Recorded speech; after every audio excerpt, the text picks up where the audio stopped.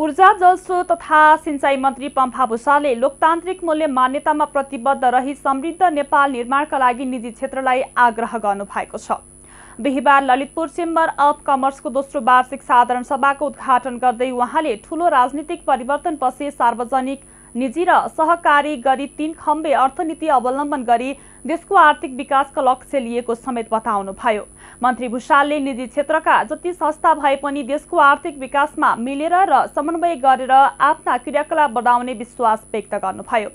उहाँले उद्योगी व्यवसायको समस्यामा समाधान गर्न सरकार प्रतिबद्ध रहेको धारणा राख्नुभयो। हामी देशकोमा एउटा ठुलो राजनीतिक परिवर्तनपछि देशको आर्थिक सामाजिक विकास समृद्धि सम्पन्नता र संविधान त नै हामी समाजवादको आधार तयार पारेर समाजवादमा जाने आर्थिक नीति तय गरेका छौँ।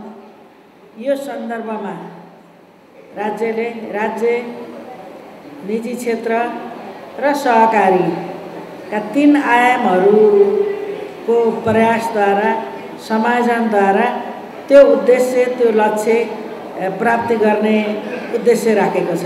र सरकारको मुख्य ध्यान नागरिकहरूको जीवन रक्षा गर्नु थियो स्वास्थ्य रक्षा गर्ने कुरा थियो र खोप त्यसको सही समाधान थियो। तिन चरणका र अब करिब करिब सबै उमेरका नागरिकलाई एकदमै प्राथमिकतामा राखेर खोप दिने काम चाहिँ सरकारले गर्यो। त्यस्तै अरू प्रभावितहरूलाई राज्यका स्रोत साधनले भ्याएसम्म चाहिँ राहत र सुविधा दिने सरकारको नीति रहेको छ।